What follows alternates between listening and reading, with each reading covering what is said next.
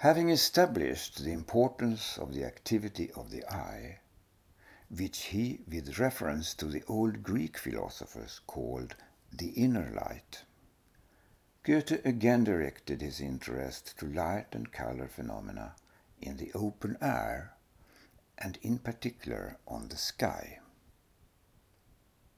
such as the beautiful so-called coronae under certain circumstances visible around the full moon and due to water droplets in the atmosphere. A more well-known phenomenon is the rainbow, here painted by Angelica Kauffmann, one of the artists Goethe befriended during his stay in Italy. What is so remarkable with the rainbow? The fact that there is no object that really has the colors. They are just a creation out of the situation, when conditions happen to be right. A rainbow arises through the reflection of the sun in millions of water droplets. The drops themselves are colorless, the sunlight just bright. The most common phenomenon on the sky, however, is the reddening of the setting sun. I usually find it rewarding to look in the opposite direction to see a corresponding phenomenon. The shadow of night rising at the east horizon. It has a wonderful deep blue tone towards dark violet. We can understand the reddening of the setting sun as an effect of the absorption of the light from the sun when it has to pass a long way through the relatively dense atmosphere close to the surface of the earth, as compared to when the sun shines directly down through it. But how about the blue sky? How does that come about? Well, the atmosphere is transparent but still acts as a fine turbid medium. Because of this, it colors the direct light from the sun, more or less, from yellow to red. But at the same time, it itself shimmers in the complementary color, which ranges from dark violet to light blue. This weak blue shimmer is seen when you look through the illuminated atmosphere towards the totally black universe behind.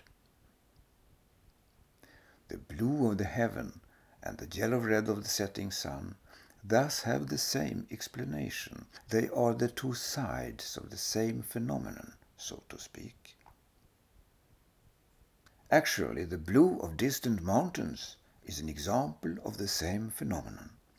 If you move over there to the distant mountain, you will find that it looks quite like here in the foreground.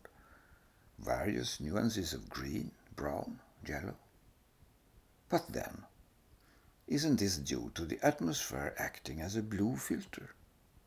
No, because in such a case, first and foremost the snow on the mountains would look blue, not as is the case, white. It is because the mountains are dark that you see the blue. More deep and intense, the darker. Whereas the snow or other white areas would rather get a tendency towards a warm color, yellow, or maybe light brown. There are certain objects, as this egg of turbid glass, that show the same phenomenon.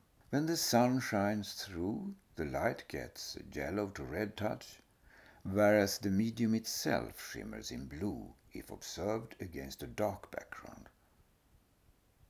Goethe is happy about all this. One and the same experimental setup results in complementary colors. You couldn't have the blue sky without having also the reddening sun. It seems as if complementarity is a general principle for color appearance.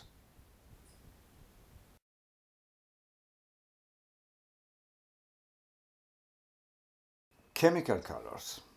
We give this denomination to colors which we can produce and more or less fix in certain bodies, and to which we ascribe a certain permanency. Chemical colors are the colors of stones, flowers, insects, birds, etc., as well as of various paints and pigments. I will not go into that chapter now, only give you one example which closely belongs to this survey, namely the augmentation of color, what Goethe calls Steigerung der Farbe. If we fill a white porcelain cup with a pure yellow liquor, the fluid will appear to become gradually redder towards the bottom and at last appears orange. If we pour a pure blue solution into another cup, the upper portion will exhibit a sky blue, that towards the bottom a beautiful violet.